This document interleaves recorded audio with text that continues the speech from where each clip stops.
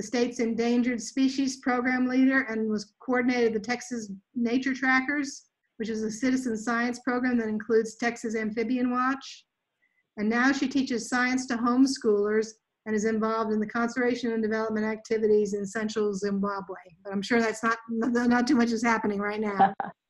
But uh, I'm turning it over to you, Lee Ann. All right. Well, thank you, Chris. Um, I think I've probably talked to quite a few of you about amphibians before, maybe just in little pieces as part of the training for master naturalists. But this gives me a chance to bring in some of the information we did in more in-depth trainings when I worked for Texas Parks and Wildlife. And I also tried to think about uh, turning it so that it would be something that you guys could apply perhaps even in your own backyards, knowing that that was kind of the theme for this library series. So I'm a little bit new to Zoom as well, but we're all having to learn. So I'm going to switch over now and bring up my screen and we'll do a PowerPoint presentation. Um, but as Chris mentioned, if questions come up in your mind as I go, just write them down in chat and somebody will pull them all together at the end. All right, so here we go. I'm going to go ahead and share my computer sound because we're going to be listening to some frogs tonight as well as looking at them. All right, so um, what we're looking for is folks who are interested in doing what they can at any scale to help amphibian conservation. So I said we wanted Friends of Frogs. Um, we'll talk a little bit about how amphibians are um, environmental indicators and and how you can you know try to do everything you can for them. But let's start with a little bit of the biology. Um, of course, the word amphibian itself uh, it comes from the word two lives. So these are vertebrate animals, one of the uh, several classes of vertebrates that we're most familiar with in terms of animals, meaning they have a backbone. They are ectothermic or cold blooded.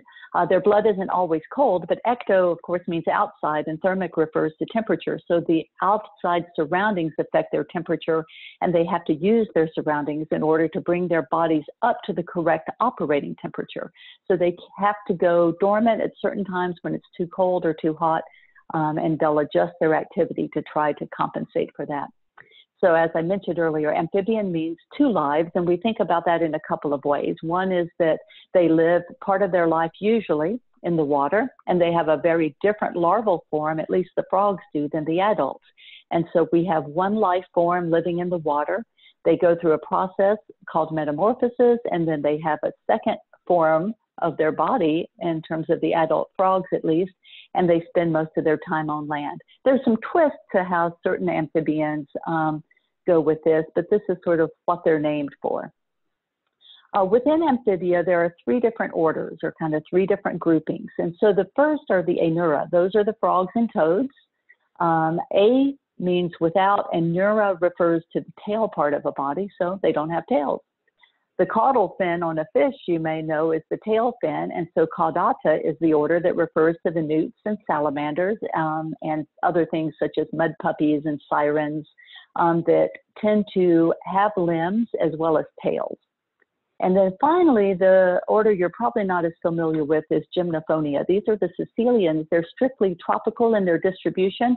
They kind of look like an earthworm, um, but they're not. They're a vertebrate. Um, they spend a lot of time burrowed in uh, leaf litter, or some of them are aquatic, but they don't occur in Texas.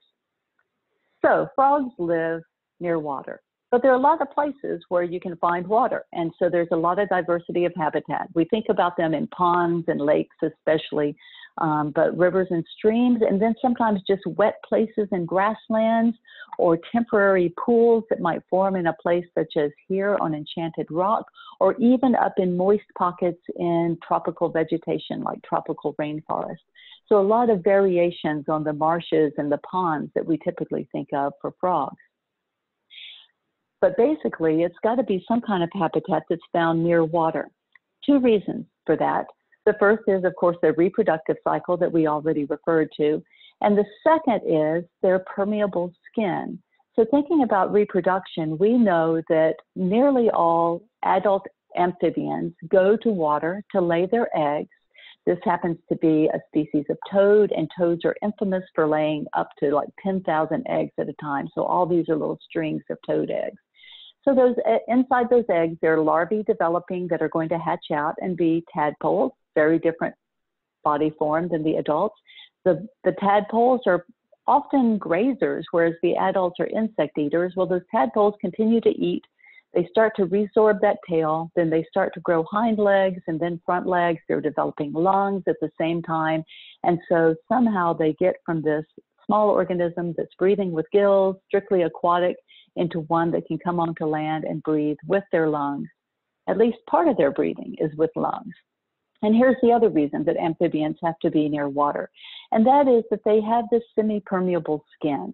Um, we know that other organisms are covered with things such as, you know, uh, hair or feathers or scales, or even insects have cuticles, but frogs have this smooth semi-permeable skin layer, uh, which means they can tend to dry out but the other reason for staying wet is that they actually do a lot of their gas exchange through their skin.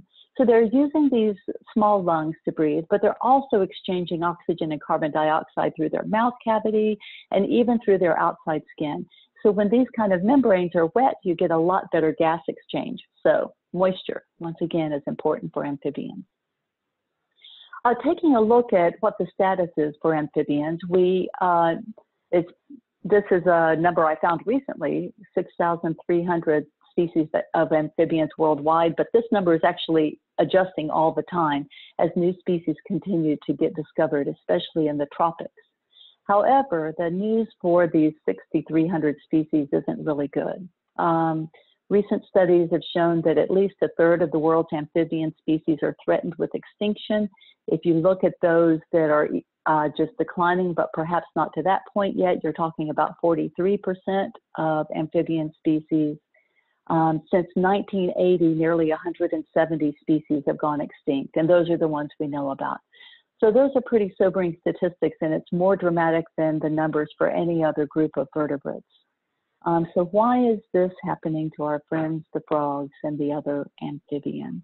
Well, there are a lot of culprits, and a lot of them are ones you hear about quite a lot with all kinds of um, imperiled species. Habitat loss and fragmentation is a big one, of course, for many species. Um, so whether we're talking about loss of tropical rainforest or whether we're talking about the 50% of the wetlands in the uh, contiguous United States that we've lost, we have a lot of frog habitat, of course, that's being lost. A second reason is introduced species, and this is a common thread for a lot of other endangered species as well.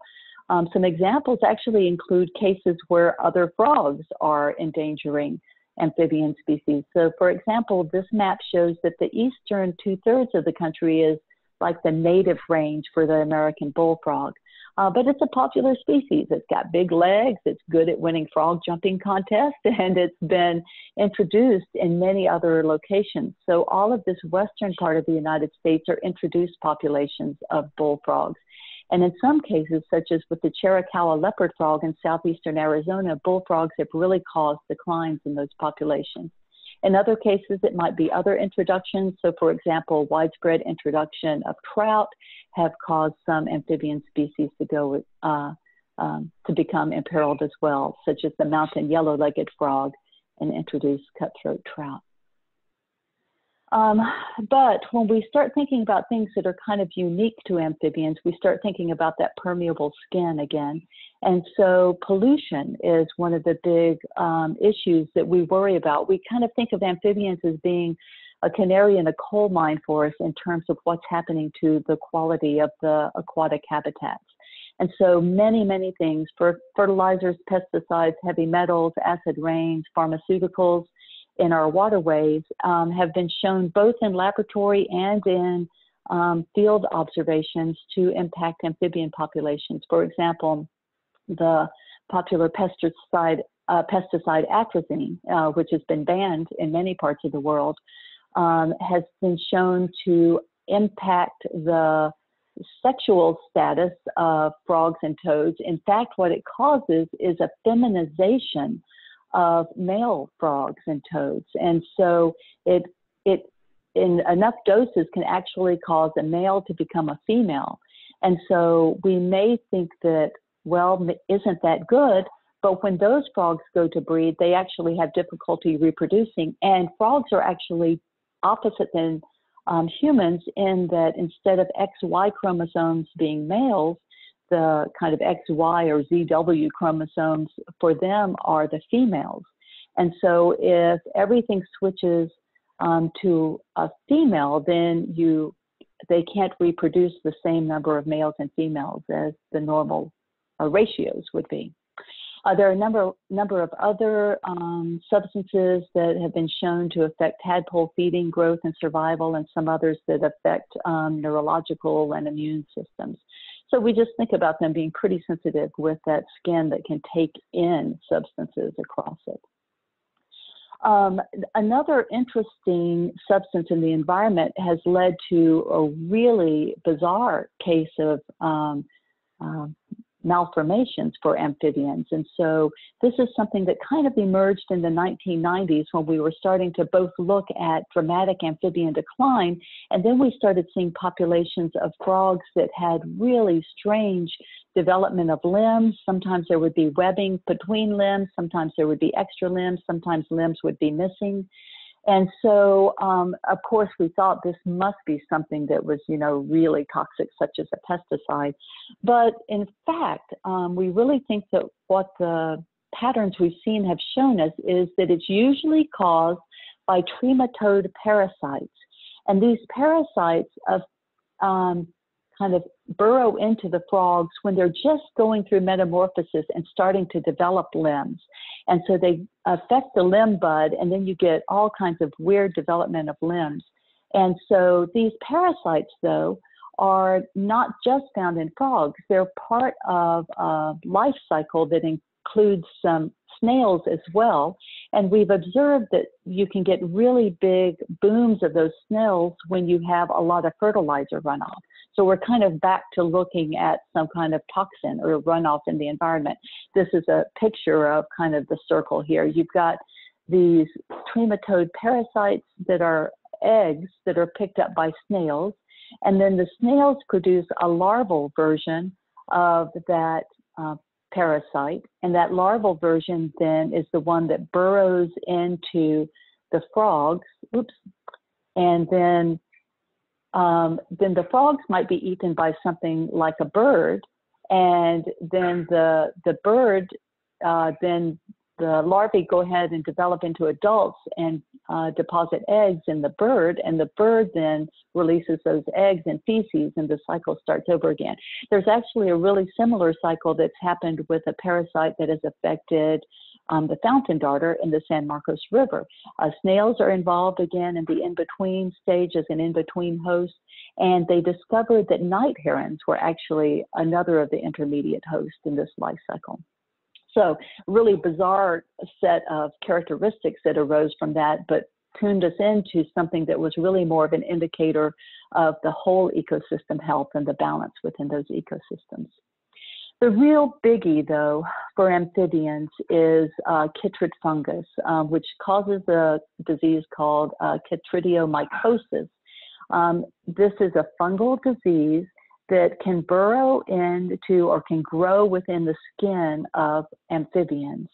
And it essentially sort of chokes off that skin of the amphibian, causing them to not be able to respire as well, causing them to be uh, not able to feed as well, and it's caused massive die-offs in many places for amphibian species. Um, we really began monitoring amphibians in Texas because we started hearing about these die-offs that were occurring around the world. And we have detected chytrid, chytrid fungus in Texas, but we haven't really seen these kinds of die-offs. It appears that frogs in certain habitats are more susceptible. Frogs at higher elevations, um, frogs um, kind of in cooler climates. And so it's affecting frogs in the tropics, but frogs at higher elevations. One species that um, is a victim of the chytrid fungus is this gastric brooding frog that was native to Australia, and it's thought now to be um, extinct in the wild. But this frog actually swallows its larvae because it lives in drier environments and the larvae develop within the stomach of the frog, and then the frog spits them back up. Um, and so people were wanting to study this frog to look at kind of the the genes and the mechanisms that could trigger it to shut off production of gastric juices and um, host its larvae. And we don't have, unfortunately, that chance anymore. And then finally, there is some concern about changing climates for frogs and toads. In many parts of the world, especially where you have wet seasons and dry seasons, you have frogs that are kind of timed to the emergence of rains at certain times. And if those rains don't come or if the temperatures are off, then you might not get reproduction of the frogs. And if that happens enough, then you can um, actually see those populations plummet. Um, it can also stress frogs when you have these changes in climates. But um, the golden toad was a species found in mountainous areas in the cloud forest of Costa Rica, and it simply disappeared from the earth over a matter of like three seasons when the rains didn't come. And so, so it can be that quick if we have climate change that's causing changes in rainfall patterns. Well, you guys are probably already on board with this that amphibians are important for a lot of reasons. And the reasons we care about those declines are First of all, that amphibians are part of the ecosystems. They're an important part of the food chain. Sometimes in wetlands, amphibian biomass can be greater than that of fish, birds, or mammals than any of the other vertebrates in certain kinds of um, wetland ecosystems. Um, they provide benefits to us. They, are used widely in scientific research, um, laboratory animals, pregnancy tests. Um, in fact, we think that chytrid fungus probably got to North America from Africa through the African clawed frog. Uh, the tracing down where it seems to occur naturally, it does occur in Africa, and the African clawed frog is used a lot in laboratory research as well as kept as a pet. Um, amphibians are sources of unique chemical compounds. If you've ever seen a dog pick up a toad and drop it and foam at the mouth, it just got a big taste of some alkaloids that we call bufotoxins. Bufo is the genus name for toads. And so those very powerful compounds, though, we know sometimes kind of open the door to uh, treatments that we didn't previously experience. So MD Anderson is looking at toads for cancer fighting properties as well as dealing with heart disease and neurological uh, issues, and as well as some of these other sources of compounds that we've looked at volatiles, natural adhesives, antibiotics. Um, and then within the ecosystem, amphibians have important roles in terms of uh, controlling insects and insect borne diseases. That's where it gets back to us. So it was estimated um, that the cricket frogs in one pond could consume nearly 5 million arthropods, mainly insects, spiders, that sort of thing, per year. And then finally, amphibians have a role in our culture um, and in ancient religions as well. Um, and they're widely eaten in some modern cultures. So, a lot of reasons to care about amphibians. So, what can you do? Well, there's there are things that we can do to benefit amphibians um, here in our own area. Um, you probably got the message already that you would, of course, want to be careful in your use of pesticides, especially around aquatic habitats. You can create frog habitats in your yard, and we'll talk about that a little more in a minute. Um, as with many other organisms, such as songbirds, um, it's important to keep our dogs and cats from, you know, getting into the habit of preying upon um, wild animals, such as amphibians. Conserving water is an obvious one because of their need for aquatic habitats, um, and especially because here in Texas we have several species that are tied to spring habitats. And then another way in which you yourself can get hands-on involved is to become familiar with frogs in our area and join some of the citizen science programs that are attempting to gather data on amphibians. So in terms of thinking about building some amphibian habitat in your yard, here's the good news is that they're, they're really very flexible in terms of finding a wet place and using it. In fact, after a good heavy rain, you'll find frogs breeding in all kinds of places, ditches and just uh, depressional areas and grasslands. But if you want to kind of some frogs around year round, um, you can build a frog pond. So some of the, the key characteristics that you want to think about if you're going to build a frog pond is to make sure there are shallow areas and sloping sides because you are dealing with amphibians that want to live in the water and on the land.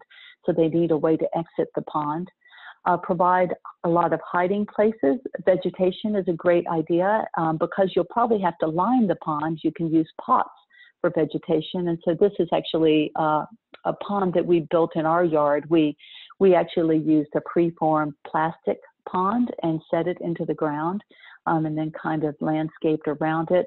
Uh, these are some sedges that we collected from the wild, and these are some horsetail or equisetum that we collected from the wild. You can also use water lilies.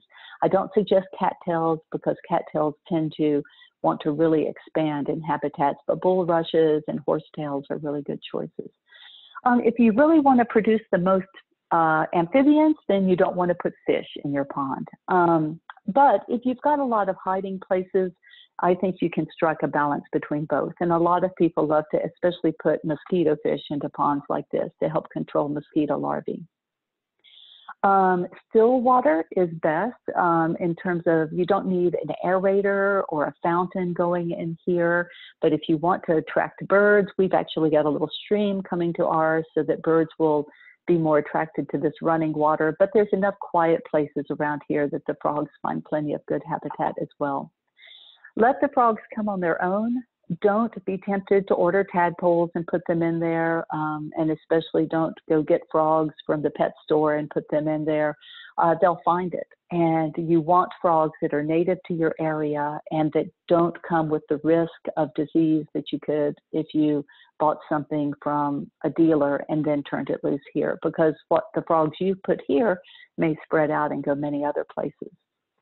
Um, a lot of people are wondering though about putting the water in and having mosquitoes come. And um, there have been a few studies that actually looked at exposing um, frogs to BT, uh, the uh, bacteria that's used to control mosquito larvae, and it hasn't been shown to be harmful to frogs. So if you're comfortable with it in terms of other things, it seems to be safe for frogs.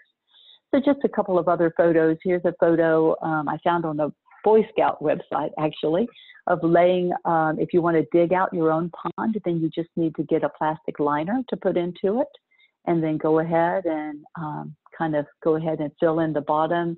Uh, you'll find some things will start to grow on their own, but looks like they put some water lilies in here. You probably want a little bit more cover around for frogs, but you know, if you build it, they will come. What we found though at our our pond, which is very small, is that the first frogs to show up were very small frogs. And then a little bit bigger frog showed up, and then there's not so many of the small frogs. And then a friend was telling me that ultimately what happened at their pond was that bullfrogs showed up, and that was the only frog they had. but but it's still amphibians, so you're doing doing a good job of benefiting amphibians. Um, you can also benefit our amphibians that aren't quite as aquatic in terms of where they spend their time, and that is by setting up habitat for toads.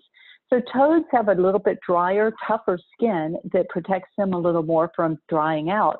And so you may know that they're pretty flexible in terms of burrowing themselves into things like flower pots when they're turned upright um, as well as other loose soil and protecting themselves from drying out, even if they're not uh, close to water. But if you put some things like this toad house or any other kind of protected cavity that um, amphibians can get into, especially near a pond, you'll find that you're really providing a lot of other alternative habitat. So this is just a clay pot that somebody knocked a hole out of, or perhaps you even find a broken one. You can embed it into the soil a little bit more so it stays even moister. These folks took the, the tray and put it on top and planted mosses, so they were really trying to create a natural looking toad house. But I've seen them all blinged up too, just so you can like glue some sparkly things on there. The toads don't care. They just are going to go into something, as you know, that's wet and damp and dark. Um, in fact, I had an interesting call when I worked for Parks and Wildlife once. Somebody thought they had found some toads. They had opened up their water meter um, cover and they found some toads in there that were really pale colored and they were really uh, thin, thin limbs, and they thought they had some malformations. But so I drove up to Round Rock, I think it was, and took a look. And then I said, yeah, you know what? Actually, toads can't jump out of this um, this meter box. And so they had unfortunately just been in there a long time and were getting very thin. So, so anyway, toads will make their way into something that provides them some shelter from drying out and from the heat. Um, and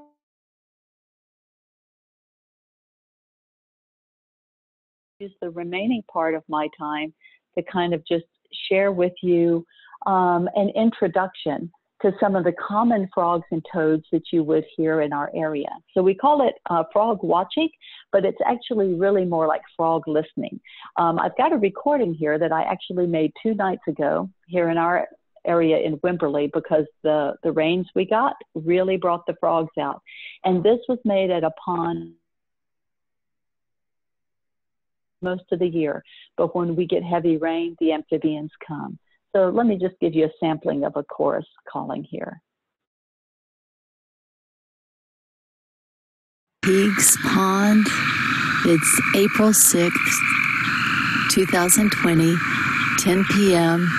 It's rained about four inches in the last four days. Temperature is 69 degrees. Take a listen.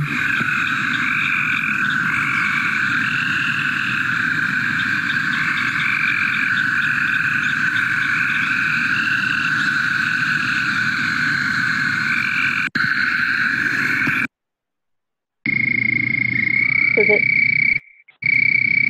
so amphibians come out and do this?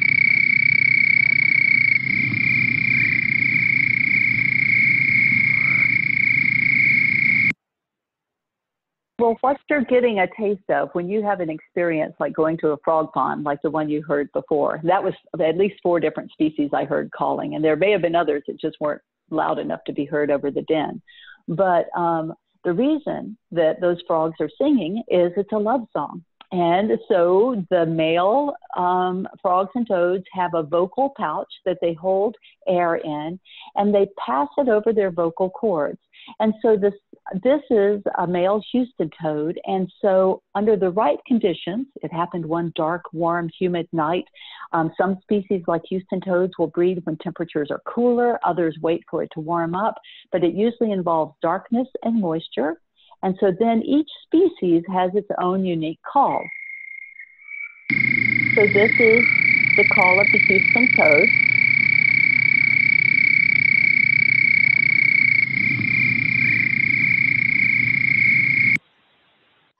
And so the purpose of that call is that the male is trying to tell females, hey, it's a great night, come on down to the pond. And so when the female arrives, she's bigger because she's carrying a ton of eggs if it's the right season. And so the male toad will um, try to grab onto a female, and then when she lays the eggs into the water, these are the black string of pearls that we see with toads. Um, the, the male will fertilize them in the water, and that whole life cycle that we saw earlier begins. Um, so within Texas, we have about 72 species of amphibians, and you can learn the, the calls of all of them, um, or of the frogs and toads at least. Uh, 42 species of frogs and toads. Four species are threatened. Most of those are down in the lower Rio Grande Valley. Uh, one species in, is endangered, and that's the Houston toad that we just saw there in the previous slide. And one species has become extirpated. The northern leopard frog used to make it barely into Texas over in El Paso County, but hasn't been seen there for many years. And then the other species are um, salamanders. And I say about 30 species because a lot of work is still being done on the salamanders that are in our springs here in central Texas. Um, so at least six of those species are listed as threatened and two species are listed as endangered.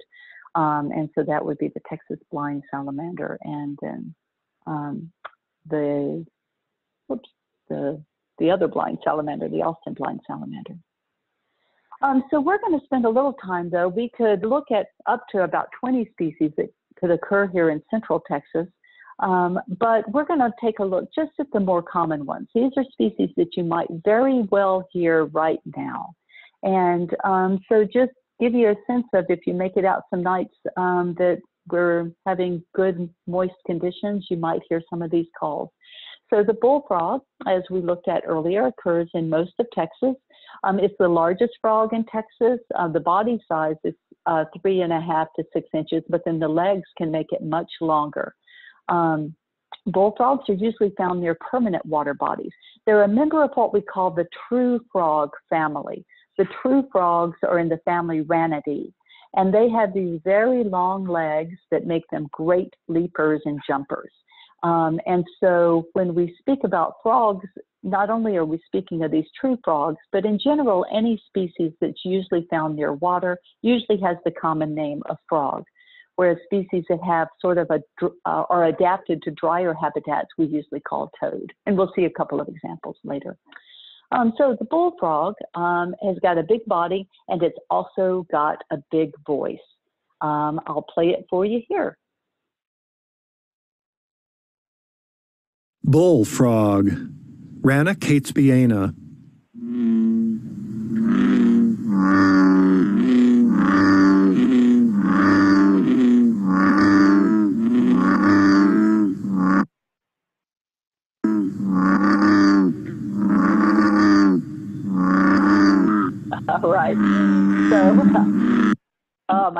bullfrog doesn't want to stop. So many people uh, say that um, they have kind. It sounds like you're blowing over a large bottle, making that booming sound like blowing over a bottle. And that's how I find it easy to remember frog names, is if you can picture kind of what it sounds like. And so some people say they say jug of rum. I don't hear it. It's, to me, it's like blowing over a bottle. So another member of this Ranidae family are the leopard frogs, or other members include the leopard frogs. Uh, the northern leopard frog is not found in Texas anymore, but we have three other species that are found here. And so the southern leopard frog is a species that's typical of East Texas and coastal Texas. The plains leopard frog is not found here. It would be found up more in the Texas panhandle. And then the Rio Grande leopard frog we would also have here as well as the southern. And it's more of the South Texas, West Texas version of the leopard frog. Leopard frogs are called leopard frogs because they have spots. They also have this fold of skin along the body called the dorsolateral fold. And it is one way to tell these species apart. Um, in the Rio Grande leopard frog, it's like the plains leopard frog that you have this fold of skin that goes down the side of the body and then it stops and then it starts again a little more in closer to the backbone. That's how it looks on the Rio Grande leopard frog. The southern leopard frog has got a dorsolateral fold that just continues unbroken all the way down to the end of the body. You can also tell them apart by their voice. So as you might expect, the Rio Grande leopard frog um, or leopard frogs might kind of sound like a leopard, and that's what I think the Rio Grande leopard frog sounds like. It kind of to me sounds like it's growling or purring.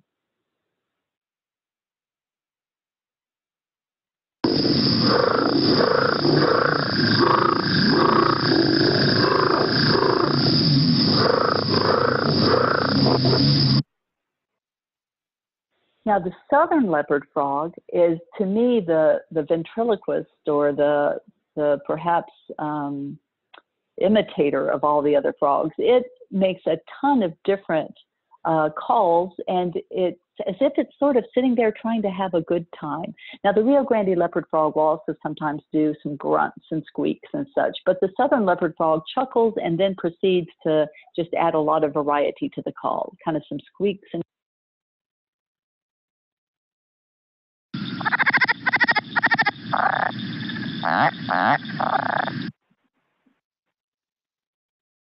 And so if you remember Woody Woodpecker, I kind of think the, the Rio Grande leopard frog growls, but the southern leopard frog chuckles like Woody Woodpecker. Uh, we have a number of members of the tree frog family that you would find here. The green tree frog is really your typical looking tree frog, bright green with pads on the toes, excellent for climbing up things like cattails and blending right in in marshland habitats. They also have this white stripe along the face. I don't see green tree frogs in the hill country as much, but if you get into San Marcos and sort of imagine yourself being a, stepping a little more into the Blackland Prairie, then they're quite abundant, especially like at Aquarena Springs. So green tree frogs to me sound like they're kind of honking. area.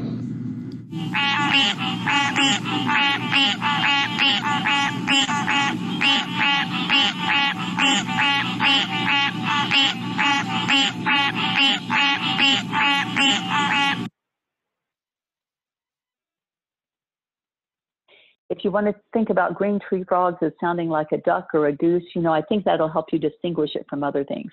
Sometimes it's not such clear quonk. Sometimes tree frogs will sit in the tree and they just go rat, rat, rat. But still, it's kind of that same pattern for the green tree frog. Now, if you're in the hill country, it's much more likely for you to encounter one of the tr gray tree frog species. There are two species that look identical, um, and they kind of overlap in their range. They actually are just um, have different numbers of chromosomes than each other is what separates them as species. Um, the the Cope's gray tree frog has half as many chromosomes as the gray tree frog, and so just something genetic happened along the way. But they can both be grayish or greenish. They can both kind of change their color depending upon their surroundings, the temperature, whether they're frightened or not. Um, and they just kind of look like lichens blending into a tree they're calling abundantly right now. Mostly what I hear around here is the Cope's gray tree frog that has a little, they both make like a trill, but the Cope's gray tree frog is a little bit raspier trill, whereas the gray tree frog has a little bit more of a musical trill. And so let me play the Cope's gray tree frog first and then the gray tree frog.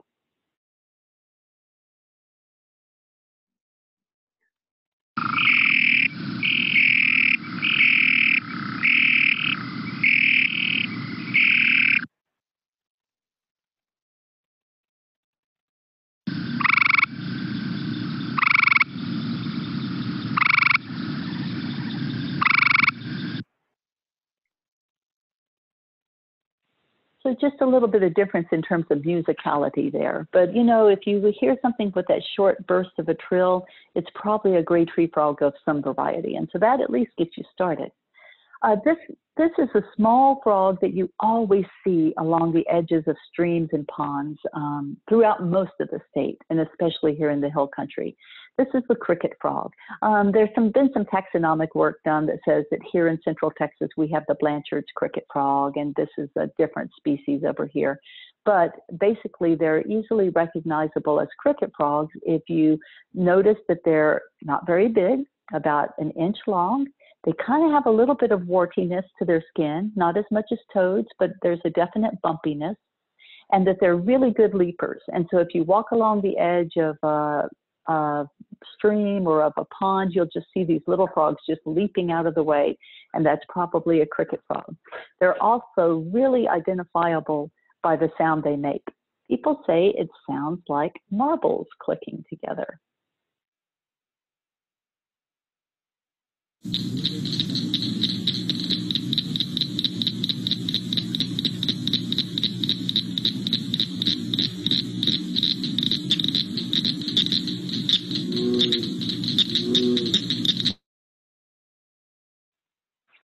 You've probably heard that if you've ever been along um, a river any time of day. You know, I, I describe these frogs as calling at night. You know, that is when most of the breeding takes place or when breeding takes place. It's a lot safer environment for the amphibians. But especially some of the tree frogs will call during the day, especially on an overcast day. And if you're down by the river and you take um, a couple of rocks and click them together, then you can sometimes get an answer from a cricket frog. Well, let's talk about a couple of toads now. This is the most common toad that you see around here, but Texas is rich in toads. Remember, I mentioned earlier that usually when a species has the common name of toad, it's telling us something about how adapted they are to arid environments. And so Texas has got plenty of arid habitats, and we've got lots of kinds of toad species um, including here in Hays County, you would find several different toad species. But by far the most common one is going to be this one, the Gulf Coast toad. It's easily recognized once you know, I mean, a toad kind of looks like a toad, but once you know how to tell toads apart, this guy is easy. He's got the white stripe down the back, and toads are covered with these bumpy warts and they also have these glands called parotoid glands that produce some of those toxins I talked about earlier. So the warts and these glands are producing toxins. They're not toxic to humans, but um, they certainly taste bad to predators. And so, one way to tell a toad species from another is to look at the shape and size of these glands. So the Gulf Coast toad has got a triangular shaped gland. And even if you find a little toad that kind of is hard to recognize in terms of its coloring, um, you can look for that triangular shaped parotoid gland. And then in addition, Gulf Coast toads have these really prominent bony crests. So this is the toad that's in your flower pots. This is the toad that's on your back porch eating insects that come to the light. They're very adapted to, you know, surviving in um, suburban and um, semi-urban environments, and and they're doing really well. Our other toad species in the county are not very common anymore. So if you find something that doesn't look like a Gulf Coast toad, then you um, you might want to take a picture and try to figure it out. Um, I mentioned that toads are adapted to arid environments. That even applies to their reproductive strategies. A bullfrog might lay eggs, and it might take a year for those eggs to go ahead and develop into a tadpole and then metamorphose into a bullfrog. Toads are going to take advantage of temporary aquatic habitats that happen after big rains. And so they'll go through the life cycle much more quickly. The Gulf Coast toad uh, will go through that whole process of showing up, calling, laying eggs, and metamorphosing happening in like four to five weeks. And so I predict that four to five weeks from now, you are going to see a bunch of tiny little black toads hopping all over the ground because these guys are laying those 10,000 eggs then they're metamorphosing when they're still really small, and you get these little black toadlets that are all over the place after that. So watch for it. I'm, I'm making it. Um, these guys are calling abundantly right now, um, unless our temperatures cool off a lot, and that can affect their activity. But if we keep some warm nights after these rains, you'll continue to hear this sound, a long, low rattle.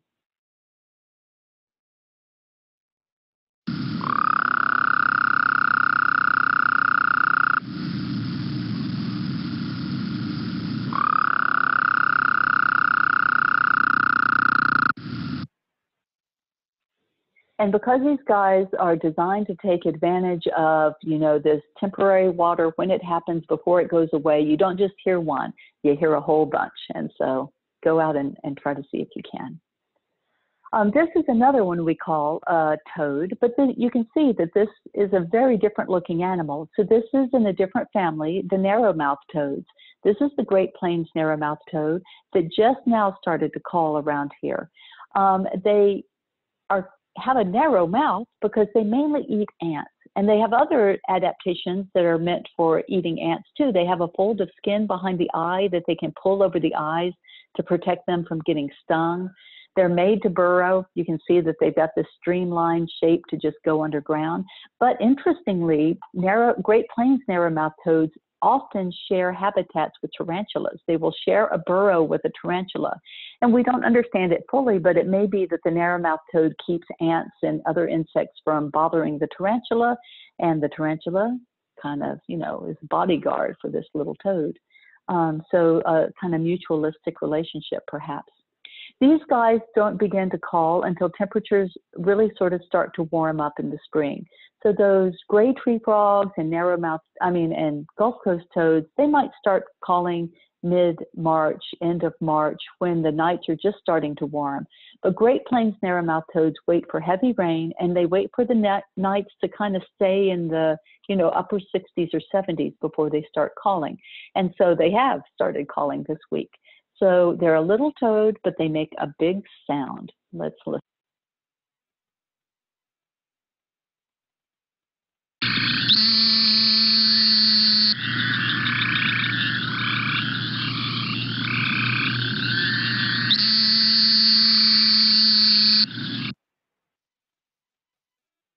So we've heard short trills and we've heard long rattling trills and we've heard honking and we've heard marbles.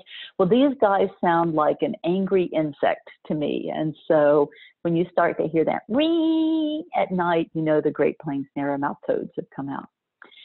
Well, those are probably the most common things. I want to throw in another couple of species that are just interesting. Uh, the Strecker's chorus frog actually can be quite common in the Wimberley area, but the reason I say that it's a little bit uh, different than the group we just talked about is this is a winter breeder. And so look at the breeding season here, November through April. So the physiology of this frog, it's a member of the tree frog family, um, is that it can be active in cooler temperatures. They're, it's hard to get to see one when they're calling, but if you do, they're really recognizable because they have this dark stripe through the eye and this kind of football player patch underneath. But just recently, I was hearing these guys call throughout most of March, and then when we started hearing the Great Plains narrowmouth toads, I stopped hearing the Strecker's chorus frogs. They may come back. I think it's supposed to be cooler again this weekend. Uh, but when they do, what you want to listen for is kind of a little bell or a little whistle going toot, toot, toot.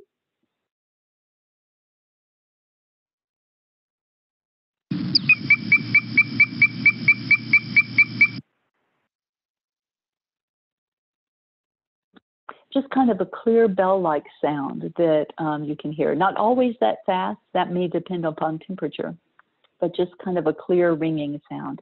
And they too will breed after rain makes all of these new little non-permanent uh, wetland areas. All right, and then there's some frogs that break the rules. These are the chirping frogs, but they're so interesting to learn about because you can hear them in some unexpected places. Um, the cliff chirping frog is a member of the tropical frog family, and that's the, the largest family of frogs in the world, actually. There are a bunch of uh, them, of course, in Central and South America. There are many of the frogs you hear about that breed within the trees, and then their larvae drop into the wetlands. And, well, our cliff chirping frog has got a little twist on that story as well. As you can imagine, they live in rocky cliff areas, which means Wimberley is a great habitat, including if you have a stone house. They'll find a little niche to get back in, and then they will find a little moist place. And they will actually call from back in those crevices, and the female goes to the male, and they will actually lay their eggs inside those crevices, just where there's a little pocket of moisture. Instead of 10,000 strings of eggs in a pond, they lay about a dozen and the eggs are large in size and actually the tadpoles go through their metamorphosis in the eggs. And when they come out there's a plenty of moisture in the eggs for them to finish that development and when they come out they're just little frogs. So they're breaking the rules. They didn't go to water to lay their eggs but really interesting because of the habitat we've got for them around here. So the chirping refers to the sounds they make a little kind of single chirp, and then sometimes a short little trill. So I think my recording here has mostly got the little trill of the cliff chirping frog.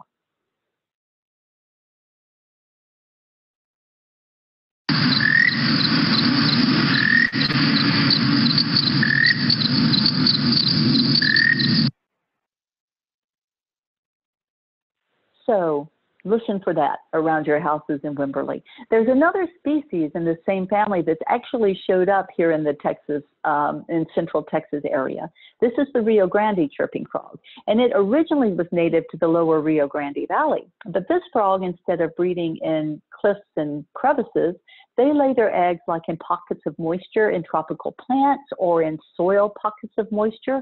And so what we discovered was that this frog soon it we knew it was in the valley, but it started showing up. It showed up in Houston, and it showed up in Dallas, and it showed up in San Antonio, and it showed up in Austin. And so we think it got moved around with the tropical plant trade. And so now it's very ubiquitous in, in those counties and in the surrounding areas. I think once it jumped over the wild horse desert of South Texas, it found a lot of good habitat. And so people will find this frog just around their houses calling from vegetation. Um, and it's smaller than the cliff chirping frog and it's kind of darker and less interesting in its color pattern. But it's so cool to walk around some places and just hear the little chirp of this frog coming from shrubbery and flower beds.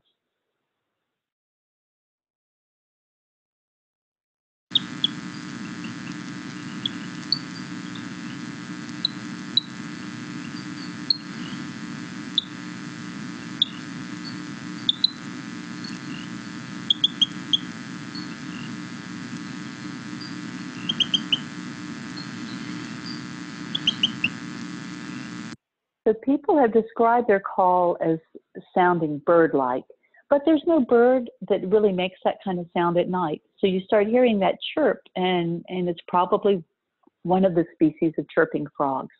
Um, so very interesting to just be on the lookout for. So, you know, I, I know you're all going to be experts after tonight's overview of the species you're most likely to run into here, but if you need a little refresher, I've got a couple of suggestions for you. Uh, one is that Texas Parks and Wildlife has a page where they have images of all the Texas frogs and, frogs and toads, and you can click, click on them and play the calls. And so it's a good way to, to really quickly check for you yourself if uh, you remember what that call sounds like. And so if you just want to be sure to include Texas Parks and Wildlife and uh, Frogs and Toads of Texas or Herps of Texas or Frog Calls, you'll get to this page. If you're interested in having a resource more at your fingertip, this is a, a book that I regularly recommend called The Frogs and Toads of North America. Um, the author is Lang Elliott, who is actually a, a bioacoustician who goes around recording wildlife sounds. And so this has got all of the frogs and toads of North America in it, beautiful, beautiful photos, and it comes with a CD of all their sounds. So I, uh, people who've been to some of my other workshops know that I call it my coffee table frog book because it's got beautiful photos and you just want to put it out for everyone to be able to appreciate. So those are the, the top two recommendations I have in terms of learning your frog and toad calls. Of course, any kind of uh, herp field guide would, reptile and amphibian field guide would help you, you know, recognize what they might look like, but these two resources can help you with the call.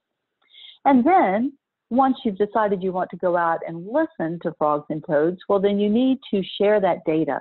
That's the whole reason we started Texas Amphibian Watch was we were in that time period when people were going, what's happening to amphibians around the world? And is it going to happen to our frogs and toads in Texas? And we needed to develop this baseline to understand what we still have and, and recognize trends when those are happening. And so you have a couple of options of making your observations very useful. The first is many of you may have explored the platform called iNaturalist, where you can upload photos of plants and animals in the wild. You can propose an identification, and other people will help you with that identification. Um, you provide a location, you provide a date. It's helping us learn a lot about the chronology of and phenology of what plants and animals are doing at different seasons and where they're occurring. But you can also upload sound files. So I regularly use my voice recorder when I'm out in the field, just save that as a sound file. And then I have discovered that even though iNaturalist has this really cool app for both Android and iPhone, I have discovered that I have to go ahead and log into iNaturalist on the computer to upload my sound files. But it's a great way to share your data. And if you aren't sure what it is, others will chime in and help you out with it. Um, the other monitoring method that I think has a lot of value in and of itself too is FrogWatch USA. This is actually coordinated by the Association of Zoos and Aquariums or aquaria. And so it, it, the zoos are really investing a lot in amphibian conservation now. It's a, it's really interesting to read about some of the work zoos are doing to try to save some of these frogs and toads in Central and South America that are threatened by chytrid fungus. And I encourage you to look up some of the, the work that's going on in places like Panama. But the zoos are also trying to invest in making sure that amphibians are doing okay here in our country. And so FrogWatch USA is based upon a system of where you actually adopt a certain wetland site that's going to be your frog pond. And they have a certain sampling season that starts in the late winter, so we could hear those Strecker's chorus frogs, or if you were in Bastrop County, you might hear Houston toads, and takes you through the spring and the and the summer, so that you can pick up all the different species of frogs and toads that might breed in your area. Um, so it's got a regular protocol. You listen for a certain specified period of time. You assign a scale to how many you hear of each species calling, and then you submit the data online. So if you look up FrogWatch USA, you can find out if any of our zoos in Texas are doing training workshops, or you can go through an online training um, there on the computer as well. So I encourage you. Uh, you know, it's wonderful to learn about this for yourself, but share your data with others. And I guess that brings us to the end of what I had to share tonight. Hopefully, we've got a little bit of time before, oops, we're right up at seven. But Chris, if we had any questions, I'm happy to stay and answer. I'm get, I got one question from Shannon. Uh, She says, we have the narrow mouth and Gulf, and whoops, now it disappeared here. We have the narrow mouth and Gulf Coast in our, in our pond. I he, we hear the narrow mouth because it is so loud, but can't find it. Any suggestions?